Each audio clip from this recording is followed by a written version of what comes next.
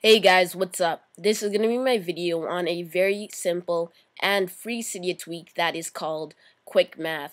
Now, QuickMath is a Cydia tweak which allows you to do simple math calculations in your Spotlight search.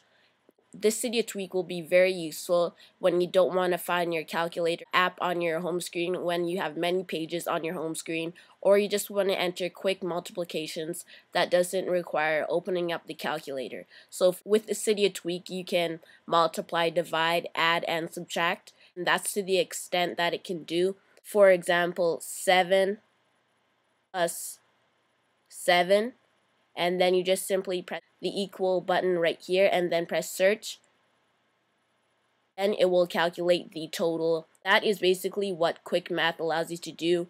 It is a free Cydia tweak so you do not have to pay for the Cydia tweak and you can find it under the BigBoss repo.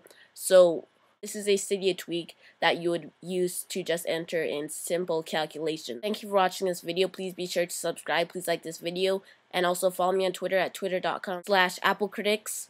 And thanks for watching.